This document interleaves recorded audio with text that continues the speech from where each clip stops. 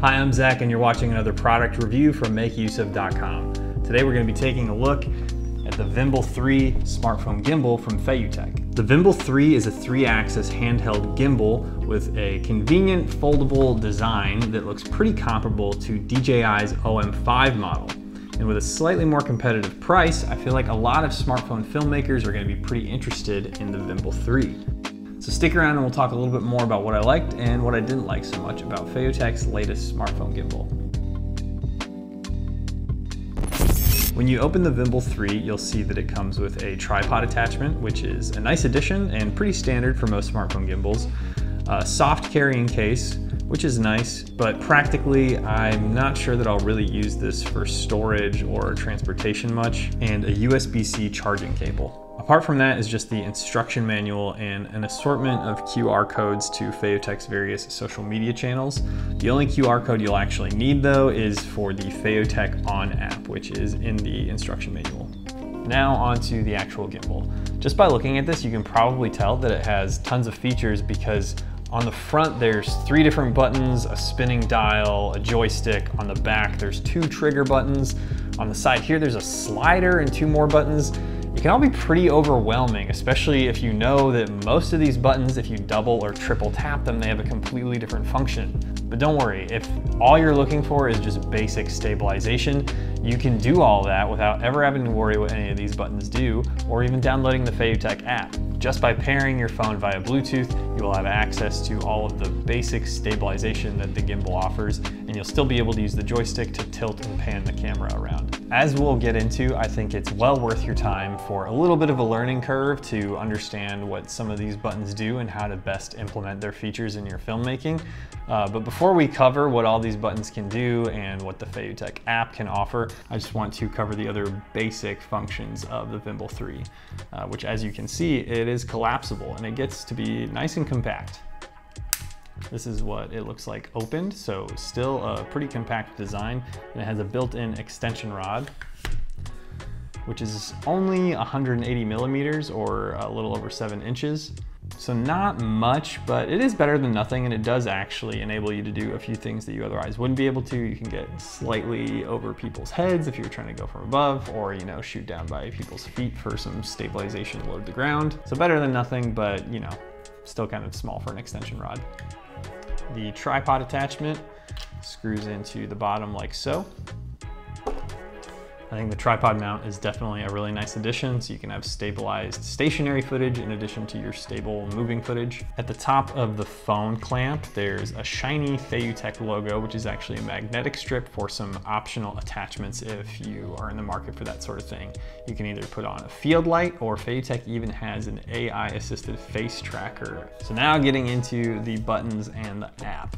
Probably the most prominent feature on the front of the gimbal is the joystick which feels awesome to use. You can use it to tilt and pan the camera around like so. It's got a pretty good range for panning. You can also tilt up and down. Just below the joystick is a spinning dial that you can use to rack in and out of focus or zoom in and out. And you can swap between those two functions by pressing the button at the center of the dial. Next to the joystick and dial are three buttons the one on top is for your camera roll. The one on the bottom is to stop and start recording. And in between those is an M button for mode. The Vimble 3 has modes for pan following, tilt pan following, and a few others. I won't cover what each of those do in detail, uh, but just know that tapping the M button will essentially change how your gimbal behaves. Double tapping the mode button will swap from landscape to portrait mode. Opposite of these front-facing buttons are these two triggers on the back and they also have a few functions each. Pressing and holding the bottom trigger will lock your phone in place. Double tapping it will reset your phone so that if it's caught in a weird spot, you can just recalibrate it that way. And triple tapping will switch from your primary camera to your front-facing camera. The top trigger button can be customized to function as one of the previously mentioned modes that the M button can get you to. And on the left side, we have two A and B shortcut buttons and a slider.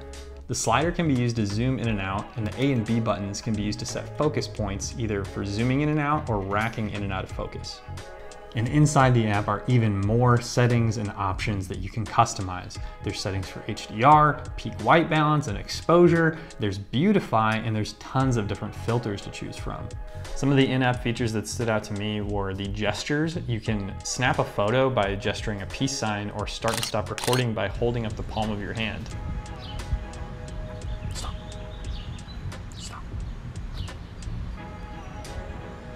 With gesture mode on, your camera will recognize these hand signs and start doing whatever the command is. Apart from the gestures, the feature that impressed me the most was the face tracking capabilities of the Vimble 3. I've got it set up so that you can see here. It's actually pretty impressive. I can see something like this being useful for if you're conducting an interview or something like that. You can just sort of like hold the gimbal out in front of someone and any subtle movements should be caught or picked up by the gimbal all on its own. In addition to tracking faces, the Vimble 3 can also track objects. As you can see on the footage on screen, while I'm moving around the gimbal quite a bit, the front of my phone is always locked onto the object I'm tracking, which in this case is my camera. So that's a quick list of what you can expect from the Vimble 3 in the Feiyutech app. But how does it feel to actually use this? Personally, I really like it. I think a lot of that comes down to the joystick for me. I've used a lot of gimbals in the past for phones and cameras, and I've always felt that they were weirdly clunky, like my stabilization was coming at a cost of not having full control of what was in frame. But having a joystick solves all that because I feel like I'm always in control of exactly what I'm pointing my camera at. I'm also a big fan of how compact the Vimble 3 can be when you need it to be. The first day I took this out shooting, it was small enough that I could stick it in the front of my sweatshirt pocket.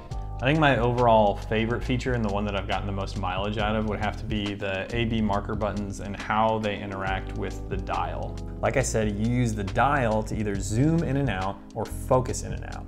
Then you can press and hold A or B and the gimbal will remember that axis point that you're zoomed or focused into. Then use the dial again to adjust to a different zoom or focus, and then press and hold the other marker button. Now, pressing either the A or B marker button will snap your camera back to that zoom or focus point. Using these marker buttons is kind of a necessity if you want to be uh, racking in and out of focus or zooming in and out with the dial wheel. Uh, the rack focus works okay with the wheel, but the zooming in particular is kind of finicky unless you're using these uh, position markers. So if you're just zooming in out using the wheel, it probably won't be as precise as you want it to be. But if you are uh, setting a point for it to remember on A and then switching to B, you can get some really impressive looking crash zooms. I was really happy with the results of any time I tried zooming in and out or uh, changing the focus anytime I was using these buttons. Now, since we're talking about the AB marker buttons and the dial wheel, I think this kind of segues into what would be my biggest complaint about the Vimble 3, and it has to do with the ergonomics. And not necessarily how it feels in your hand. I think holding it does feel good, and like I said, the joystick feels really good to use, but the amount of buttons I think feels kind of redundant, especially since this slider on the side all that does is zoom in and out, and that's already something that the wheel can do. Same with the top trigger. All of its functions are things that the M button can do. The AB marker buttons aren't exactly out of reach, but the slider is in the way of them. And I think that the design of the Vimble 3 would benefit overall by just taking the slider out and having the AB buttons be closer and easier to reach. Same with the top trigger button. I think it's just a little overcrowded and not really necessary. And lastly, using the buttons to navigate the different functions of the gimbal while you're holding it made me just a little bit nervous because there's no safety strap on the Vimble 3. And I bring up the lack of a safety strap because while you're holding and operating the Vimble 3, the hand you're using to grip it is also the hand you're using to navigate all the different buttons and stuff which not a huge deal, but the Vimble 3, along with many other smartphone gimbals, kind of has a hard time holding onto your phone if it's in a hard case of any kind. If you're a bit braver than I am, maybe that won't bother you as much, but it did feel like a bit of a liability for me to be operating this thing sometimes. My last piece of criticism for the Vimble 3 would be the fact that there will be a Feiyutech watermark on all of your photos by default. Thankfully, there's a way to turn this off in the menus, but the fact that you even have to dig through settings and stuff to find that and turn it off is pretty frustrating to me. So I think the pros that the Vimble 3 offers pretty heavily outweigh its drawbacks.